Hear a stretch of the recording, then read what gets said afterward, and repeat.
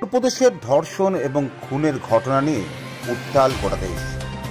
কিন্তু সাত বছর আগে কামতুলিতে যে ধর্ষণের ঘটনা হয়েছিল, সে ঘটনা এখন ধামা চাপা পড়ে আছে।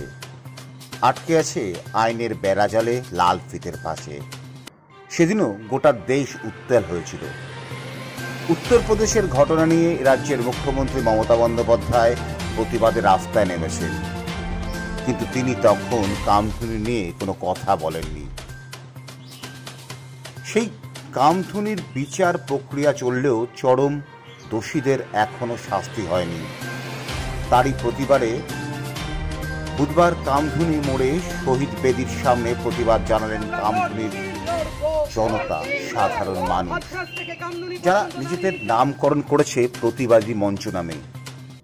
প্রতিবাদী মঞ্চের এদিন উপস্থিত ছিলেন মৌসুমী কয়াল, টুম্পা কয়ালের মতো প্রতিবাদী মুখ ছিলেন নির্যাতিতার ভাইয়েরা। এবং এই অরাজনৈতিক সভায় কিন্তু উপস্থিত ছিলেন বেশ কয়েকজন বাম সমর্থিত বা বাম মানসিকতার মানুষজন। এই অরাজনৈতিক সংগঠনের পক্ষে এদের প্রতিবাদ সভা করা হয়। এখানে নিন্দা করা হয় উত্তরপ্রদেশের ঘটনা।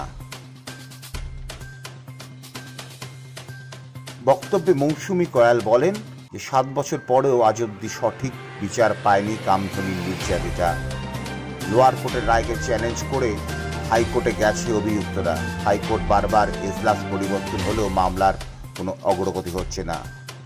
কামধুনির মানুষ চায়, সারা রাজ্যের মানুষ চায়, সারা দেশের প্রতিবাদী মানুষ চায় কামধুনি মামলার নিষ্পত্তি হোক।